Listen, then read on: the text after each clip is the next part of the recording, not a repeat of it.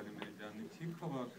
Каждый год у нас специальная ночная программа, где мы стараемся показать самые пикантные фильмы сезона. И сегодня мы очень рады, что у нас премьера фильма «Рока» о известном порноактере Рока Сеферде, человеке, который благодаря своим феноменальным физическим э, способностям и интеллектуальной такой эмоциональной выносливости стал иконой порноиндустрии в прошлом веке.